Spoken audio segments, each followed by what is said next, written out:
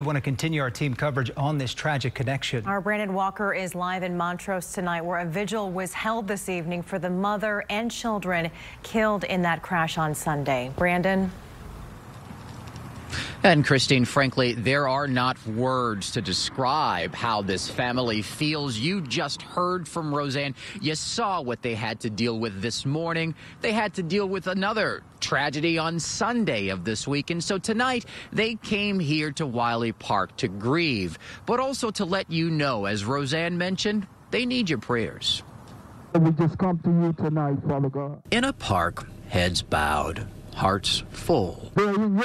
Prayer pushed peace, protection for a family broken from grandma to dad. Grief dropped Damien House to his knees. He'll have to bury his wife, his three children, his everything. So I just want to say I miss my family, man. Damien spoke to the crowd about how he feels, how they all feel. It's been nearly a week of feeling. Yet, on this Friday,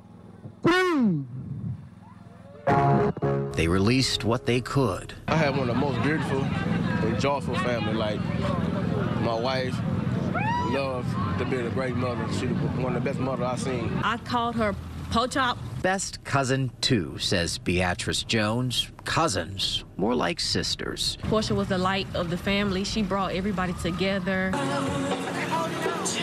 Portia did so again Friday, brought everybody together. Her boys did too.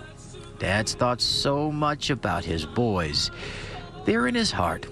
They're in him. My kids just, they're so amazing. If you was to be around them, you'll get attached to them.